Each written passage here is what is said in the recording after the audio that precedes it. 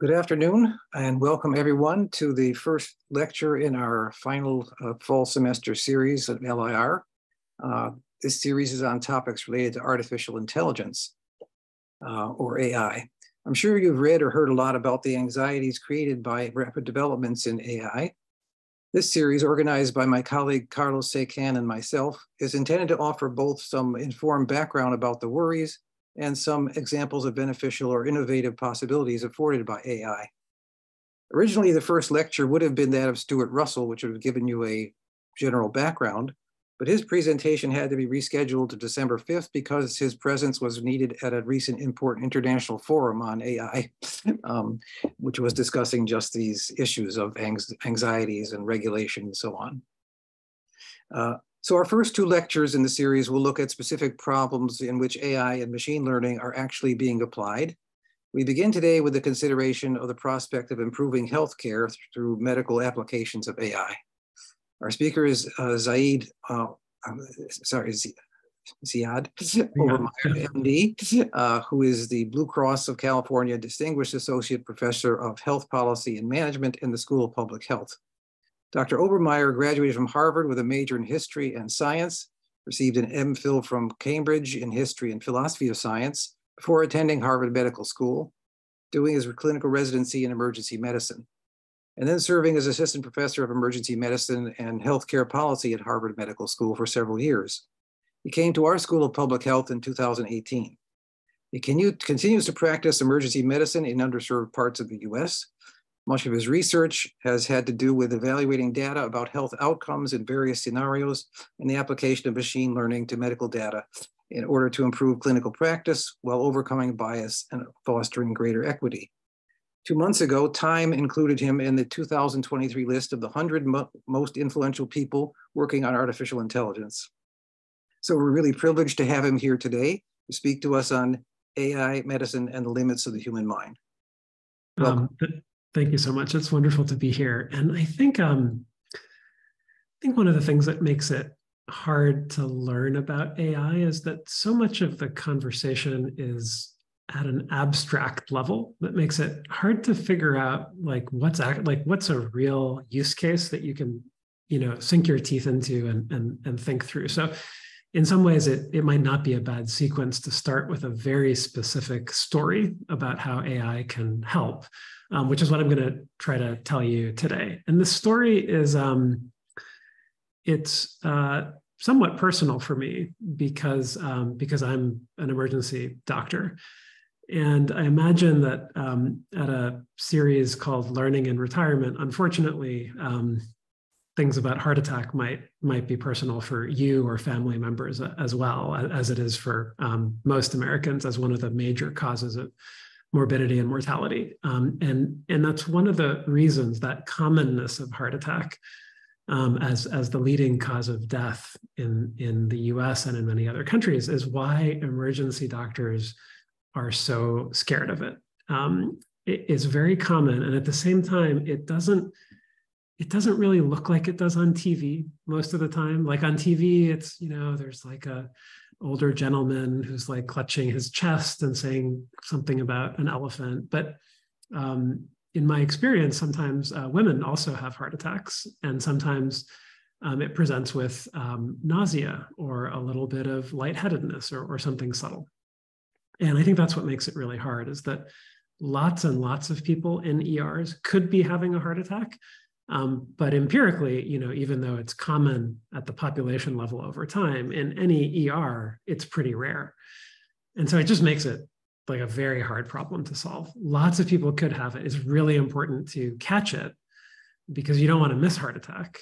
Um, but at the same time, um, you have to make these decisions about testing for heart attack. And those decisions are hard because even though you know it's really terrible to miss a heart attack, testing for heart attack is also kind of terrible because it's incredibly expensive um, and it's invasive. Um, the, the gold standard test for heart attack is putting a, a catheter, a, a, flexible metal tube, into one of your arteries, usually through your wrist, and snaking the catheter up um, into the coronary arteries that supply the heart muscle and looking for blockage under x-ray guidance. So this is an invasive procedure. It has risks. It's, it's, it requires a you know stay in the hospital Um, and and that's the other thing that makes this this decision so hard. It's like you don't want to miss heart attack, but at the same time, you can't test everybody in the ER.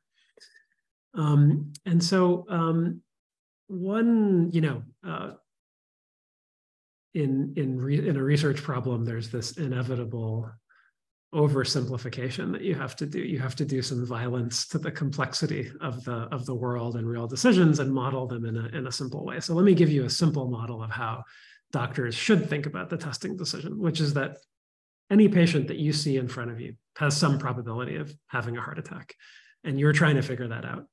Um, and if you test someone, like let's take the case of someone with a heart attack, if you test that person and you confirm that they are having a heart attack and you visualize that blockage, um, you can fix the blockage. You can put a stent in most commonly, or sometimes schedule them for emergency open heart surgery. But you can reopen that blockage. You can resupply the heart muscle with the blood and the, and the oxygen and nutrients it needs. And that person can go on to have a long and healthy life with no trace of this heart attack. And it's just, you know, a transformative thing for that person. If you fail to test that person, um, at first, nothing might happen. You might say, well, this sounds like a little bit of acid reflux, or maybe it's a touch of pneumonia. Um, take this medication, go home, talk to your primary care doctor. And a lot of those people, at least in the short term, do fine. Um, some of them don't. Some of them have arrhythmias and, and, terrible consequences from this heart attack that go on to kill them, uh, either shortly thereafter or over the next few years. And so there's a huge cost to missing heart attack and a huge benefit to treating heart attack. So what should physicians do? Well, physicians should, you know, uh, accurately estimate the probability that each certain, you know, person in front of them is having a heart attack. And if that probability is above some threshold, we should, you know, which we should define based on the cost effectiveness of testing and treating heart attack and the cost of the test and the benefit. Above that threshold, we should be testing people for heart attack, and below that threshold, we should not be. T- so that's like what a perfect doctor would do in this slightly oversimplified world. So, so that's the ideal. Um, what's the reality? Well, um, real physicians have two problems. One problem is that we're practicing in a system with not very good incentives. Um, and even though this is changing over time, effectively hospitals are paid by the test. And so, you know, uh, uh, sorry, this caption might be a little bit small. Uh, modern medicine is well, Bob. It looks like a paper cut, but just to be sure, let's do a lot of tests. And um, and we know that when we look at studies of how doctors test for heart attack, you know, 90%, sometimes 95% of these tests are negative in a way that looks quite wasteful and in a way that looks like, yeah, when you pay someone by the test, they're going to do a lot of tests. Um, so that's one problem. Um, but the other problem is that doctors are not perfect. And sometimes doctors make mistakes. And uh, this caption says, um, shows you how much I know. Um, and so I think that these two forces mean that doctors are not always behaving the way we would like doctors to behave. And, um, and, and so I think at least when I was, um, this was very pronounced for me in my first few years of being a doctor after residency. So during residency, you're given more and more autonomy over time, but ultimately, the patient is always someone else's responsibility you know, legally or whatever, but but sort of metaphysically, there's always someone else that you can ask to, you know, for advice or to take this burden off of your plate. But after residency, you know, from like June 30th to July 1st, it's you. And it's really very stressful.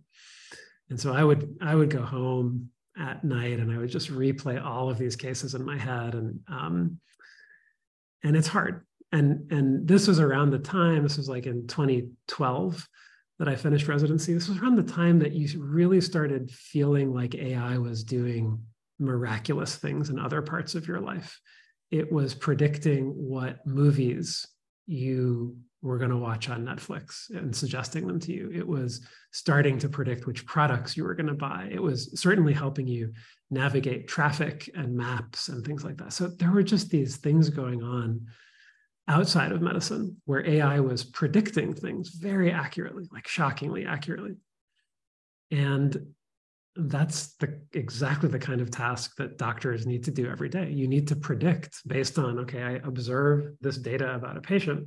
What's the probability this patient's having a heart attack? That would be really, really useful to me in the ER.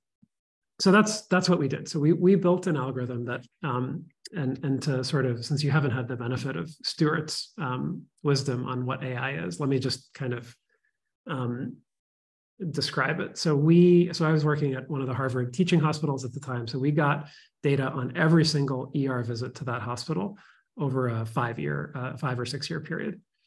And so we had basically like, you can think of it as like a really big Excel sheet where each row was a visit. Okay, so each row is like an ER visit by a patient. And in that row, we see a couple of things. We see, did the doctor test this person or not? Um, and then we see, did the test come back positive or not? But we also see if they didn't get tested, did bad things happen to them in the 30 days after that? So that spreadsheet is telling us a lot about that visit and, and sort of outcomes related to testing for heart attack at that visit. But that spreadsheet also has thousands and thousands of columns about that person's electronic health record data leading up to that visit. So we see every medication that person has ever taken in the system. We see their laboratory studies, the diagnosis codes that they were assigned, procedures they've had, their blood pressure over time. We see a lot of things about this person. And all AI does is it takes all of those rich inputs about everything leading up to that visit. And what we used it to do was to say, okay, let's look at the people who got tested for heart attack, who got this invasive, um, dangerous, expensive test. Let's just use all of the information in the electronic health record to predict of all these people who get tested, who comes back with a positive test. So that's how we define heart attack risk is someone who was tested for heart attack, did they have a positive test or not? And to give you a sense of where doctors are now, this is, you know, this is at one of the Harvard teaching hospitals. So these doctors are no slouches. Um, uh, they, they, certainly think they're pretty good. And at that hospital, about um, 15, one five percent of the tests were coming back positive. So not not great, not great. Um, so, um, so let me tell you a little bit about the algorithm. And I, I against my better judgment, it's hard to convey some of these things without graphs. So I am showing you some graphs, but let me talk through this graph so that you know what you're looking at. So in this graph, um, we're looking at a bunch of people who got tested. And on the x-axis, I'm showing you from like low risk to high risk. So the algorithm has looked at a sample of people who are getting tested for heart attack that doctors have decided to test because the doctor is worried enough about heart attack that they're willing to subject the person to the costs and the risks of testing. So doctors are already worried about these people. And the algorithm has been asked to sort them into 10 groups, each 10% of the data from low to high risk. So from left to right, you're going from low risk groups to high risk group. And each of those dots on the graph is 10% of the data. On the y-axis, you see the outcome of the test. So all these people are being tested because doctors were worried. But on the y-axis, you see the fraction of those tests that came back positive for each of those groups. And what you can see is that on the left side of the graph, those dots are very low on the y-axis, which implies that almost no one in those groups comes back with a positive test. Whereas at, um, uh, and so, you know, you can put that number through the cost effectiveness machine, and you would have to be willing to pay over a million dollars per life year to justify doing these tests. And as a rule of thumb, you know, um, in, in the US, the, the reasonable valuations for cost effective medical care would be between 100 and $200,000 per life year. Uh, if you're in the UK or other parts of Europe, it's more like $50,000 per life year. Uh, but we're we're bigger spenders here. Um, and but but even by our standards, this is not cost-effective testing at all. This is an order of magnitude um, too expensive to be considered cost-effective. On the other hand, now let's look at on the on the other side of the graph at the people that the algorithm thinks are very high risk. When those people get tested, over half of them have a heart attack and and that's very cost effective e- even in the uk even british people would consider this cost effective so it's kind of a striking fact that remember all of these people doctors were worried about heart attack but the algorithm using data that was available to the doctor at the time of the test is able to distinguish between very low risk people and very high risk people. So that's interesting. And at the same time, it's also not totally surprising because because of what we talked about about incentives. Like i think everybody knows on some level that there's too much testing and that doctors are testing a lot of you know low risk people because you know because of incentives. And so over testing as we're showing here it's not good but it's not super surprising. So this is a fact about people who got tested um, but we can also generate a fact about people who didn't get tested and so you know untested people, we have this problem because we can use the algorithm to generate predictions. We can ask the algorithm, if this person were tested, what's their likelihood of, you know, the test coming back positive? But the problem with the untested people is that we don't have the test result.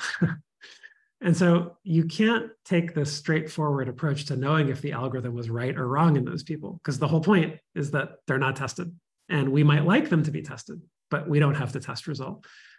And so we can't say, at least with the data we have so far, when the algorithm disagrees with the human. So effectively, the algorithm is saying, oh, look at this person.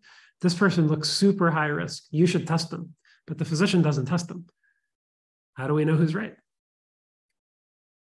So we have to do some detective work. And here's how we did the detective work. Um, and, and this, I think, answers one of the questions that I saw flash by in the chat. So we're going to take all of the untested patients and we're going to take out anyone where the doctor has diagnosed or even mentioned heart attack in their note from that ER visit.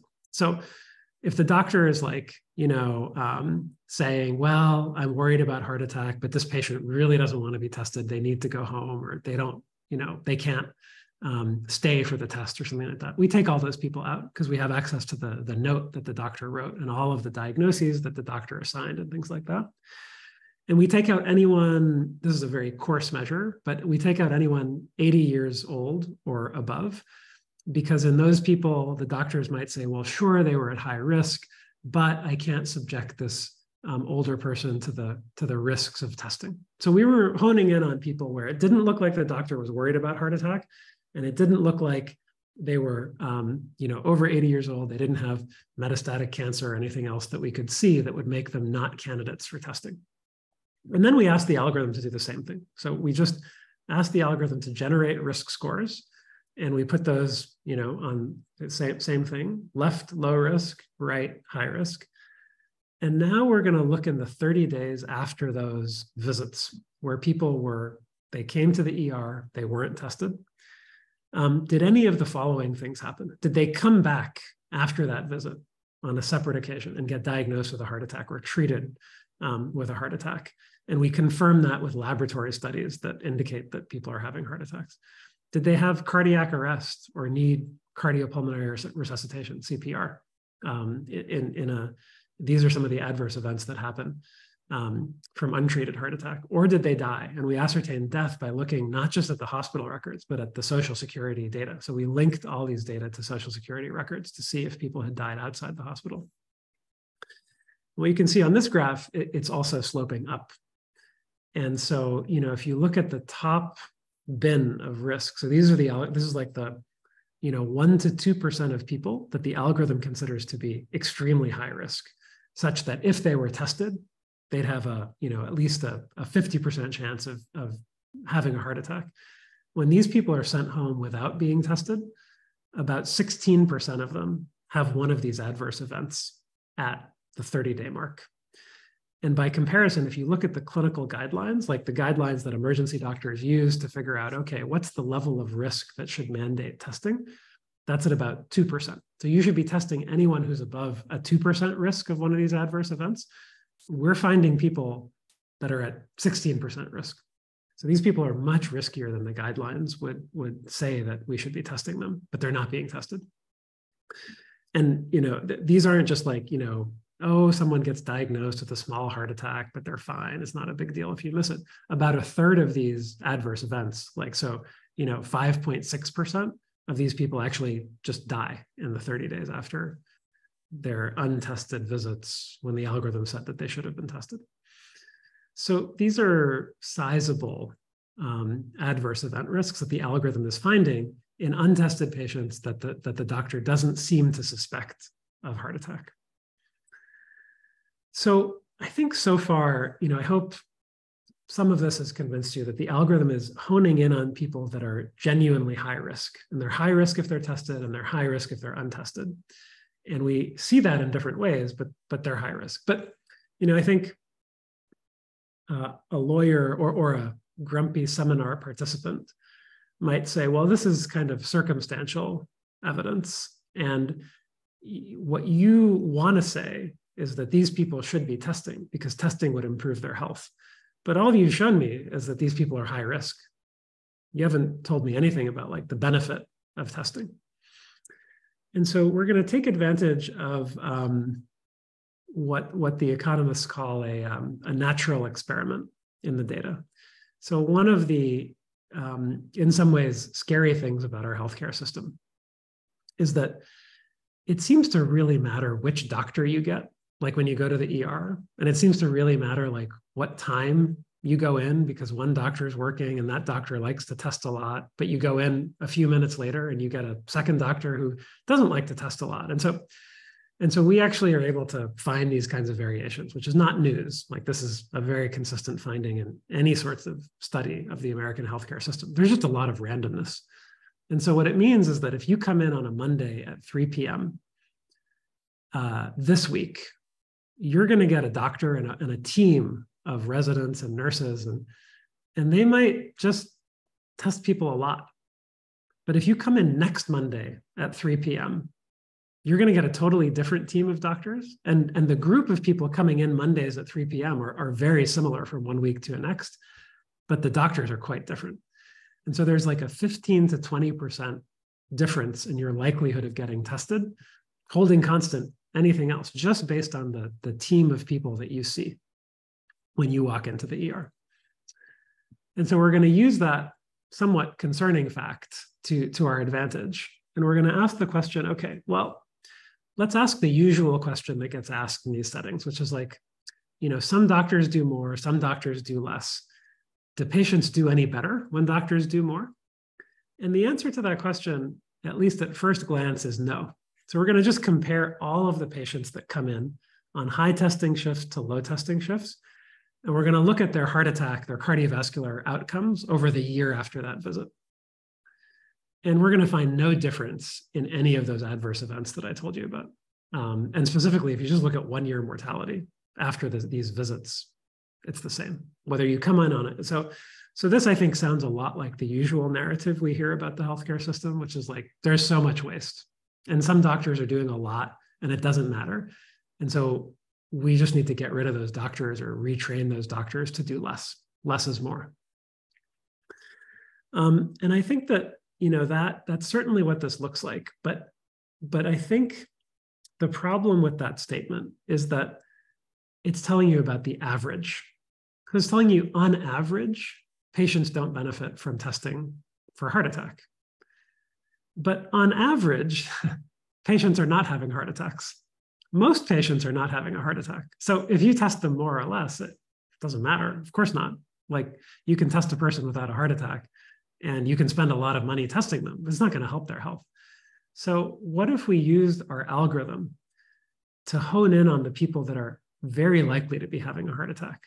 And let's look at how those people do when they come in on a high testing shift or a low testing shift.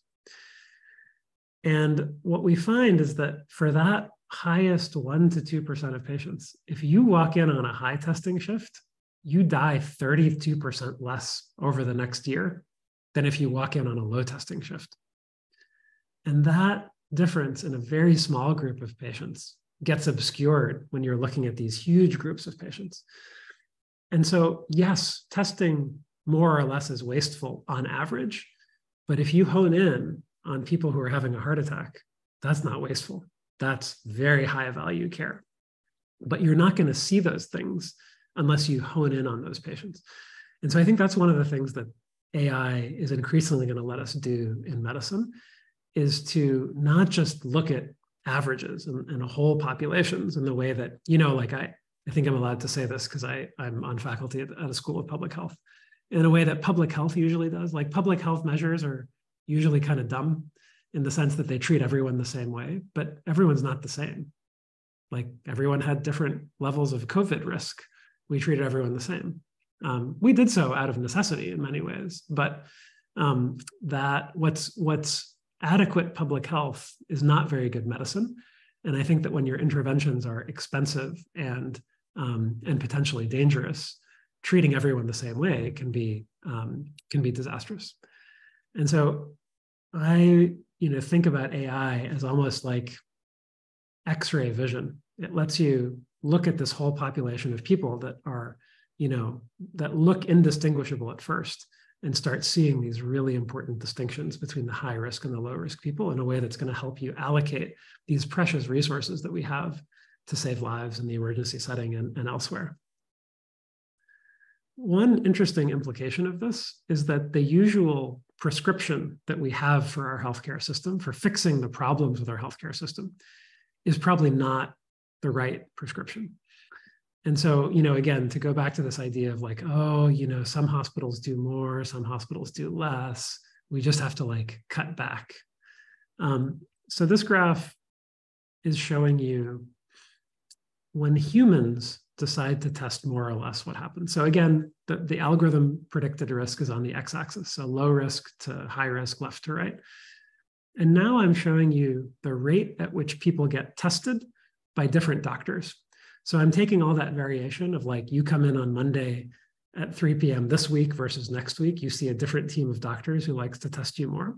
So I'm just organizing this by high testing doctors versus low testing doctors. And we're going to look at the testing rate as a function of risk. And so at the top, the purple line is showing you like the high testing, you know, triage uh, teams. Who do they test more? Well, you can see that the top line is above the low line everywhere. And so, you know, there's good news, which is that if you think about a low testing doctor and you look at the low risk patients, they're testing those low risk patients less, which is great. That's exactly what we want them to do. The problem that you can already see is that they're also testing the high risk patients less. So when doctors test less or more, they test everyone less or more. And they don't do the thing that the algorithm would do, which is don't test the low risk patients, test the high risk patients. And this isn't just a, an artifact of the fact we were looking at one weird hospital in Boston. We can recreate this approach in Medicare data and we find the exact same pattern across hospitals. So low testing hospitals test everyone less, high testing hospitals test everyone more. And so you can see the goal of getting all doctors to look like low testing doctors or all hospitals to, to look like low testing hospitals is throwing the baby out with the bathwater. Yes, we want to test low risk people less, but we don't want that to result in testing high risk people less. So by contrast, what, what would an AI do? Well, if you ask the algorithm, the algorithm would cut testing by about half, so about 46% reduction in testing if you just test it according to the algorithmic predictions. But there's a very important nuance here, which is that the algorithm would actually cut all of the tests in low risk patients, like patients below the cost effectiveness threshold, all those tests would be cut, which would result in cutting 62% of tests but the algorithm would also add back in some of those tests for high risk patients.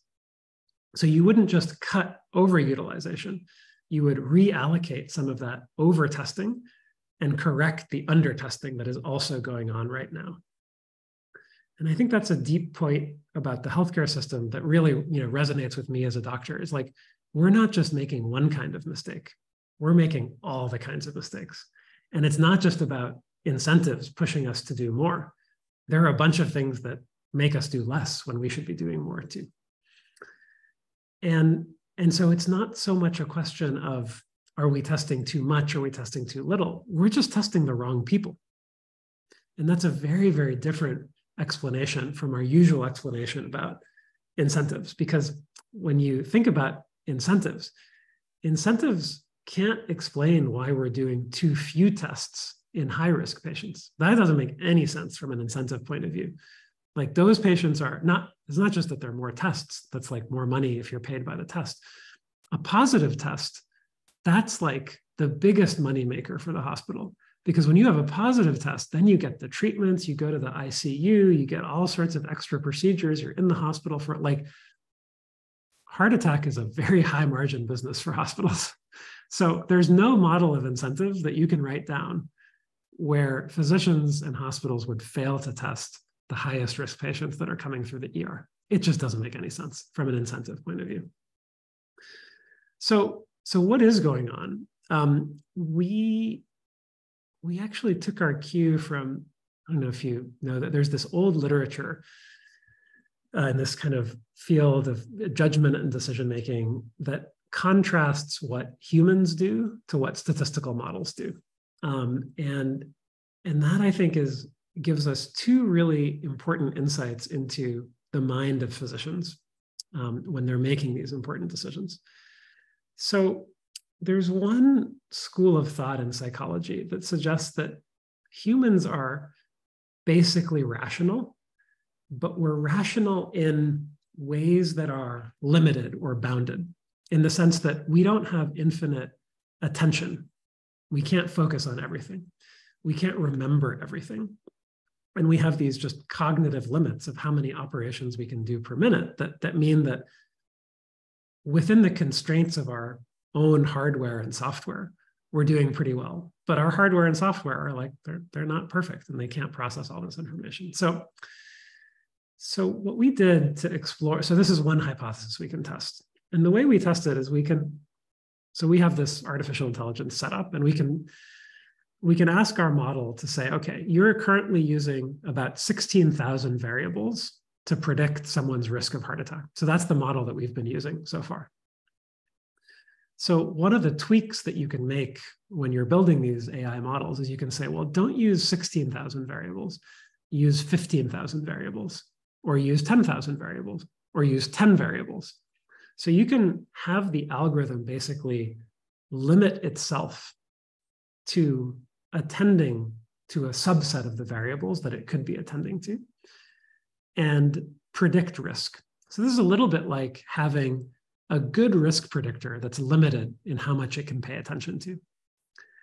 And so we built all of these different algorithms, and then we asked those algorithms two questions. Number one is looking at these simplified versions of our real model, how well do those predict the patient outcome? Are they actually having a heart attack? And how well does it predict the physician's decision of whom to test? And what you can see is that the if you were building like the best risk model, you would probably you would include like hundreds of variables, like the the the best performing model, it looked through all those like 16,000 variables and it found the 224 best variables to predict heart attack. And that was like the best model. But the best model to predict the physician's testing decision used 49 variables. So physicians are basically like a pretty good algorithm, but an algorithm that couldn't look through 16,000 variables or 200 variables. It could only use about 50 variables. So physicians are a little bit like a very limited algorithm, but given those limits, it's a pretty good algorithm. So we can also, as a way of getting insight into a second hypothesis, look at how physicians are using the variables that they seem to be paying attention to. So we take those 49 variables that predict the physician's testing decision. And we just look at, you know, for each of these variables, how well does it predict the patient outcome? That's on the, the horizontal axis. And then how well does it predict the physician's testing decision? And you can see the points are kind of clustered around this line. There's a pretty good correlation between things that correlate with true risk and things that drive the physician's testing behavior. But there are some outliers. So for example, chest pain is a pretty good predictor of, of having a heart attack but it's a it's a very salient variable for doctors. They are overusing it relative to its importance. And they're also overusing age relative to its importance for predicting heart attack. And they're underusing um, sex and someone's income, which we also have access to. And so it looks like physicians are doing a pretty good job, but there are these variables that are overweighted or underweighted relative to where they should be weighted. And I think this brings us into like there's a different psychology literature, which is like the thinking fast and slow literature on predictable errors and biases that physicians have when we're assessing data. And the things that seem to really stand out to physicians that they are overusing are things related to symptoms and things related to the patient's demographics, like their age. And it's not totally surprising because this is actually the way medical education and medical communication works. When you open up the New England Journal of Medicine and you look at their case records, how do they describe patients? A 54 year old man with irritability, confusion, and odd behaviors. This might sound like someone you know, but this is a case report in the New England Journal of Medicine. And this is how doctors communicate to each other. When I am working in the ER and a new patient comes in, the first thing I see about them is their age, their uh, sex and their symptom that they're coming in with. And as a shorthand in the hospital, you often, and this is not a great reflection on physicians or healthcare providers, but you often talk about like, oh, the chest pain in room four. So these are things that are very present in our minds, and they're present for a reason because symptoms are important but we are over attending to some of those things at the expense of other things that we should be paying attention to. Um, and so, you know, um, symptoms are overweighted. Uh, stereotypical symptoms of heart attack, like chest pain, are, are very much overweighted. And then complex numerical data, like laboratory studies over time, vital sign trends, and things like that, are underweighted. And so physicians are paying too much attention to some things and too little attention to other things as a function of what stands out to us and what kind of information we can process. Um, I'll just tell you briefly about like, so all of these analyses were done in data that had already been collected. So we were able to mimic, you know, uh, a randomized trial by looking at this, this quirk about doctors testing more or less. Um, but we're currently rolling this algorithm out as a randomized trial um, in a much, much larger health system with lots and lots of different hospitals where we have much bigger sample size. Um, and, and if the algorithm rebuilds well in this new environment, we're going to roll this out as a randomized trial and actually see if this algorithm leads to better patient outcomes or not. So I think there's a view in a lot of this intersection of machine learning, artificial intelligence, and healthcare that it's going to transform healthcare basically as a product that's going to improve decisions and you know lead to efficiency. And i think that is true and i think that would be great. I think that there's also a way in which artificial intelligence can drive deeper understanding of the things that we're trying to improve.